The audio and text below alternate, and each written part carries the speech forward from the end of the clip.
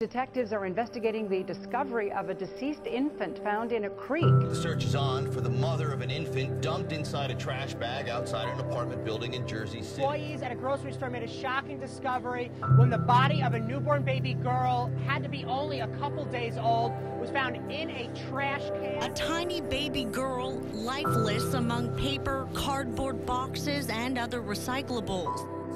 It's just heartbreaking to think that somebody dumped a, a, a, day or two old infant into a trash can.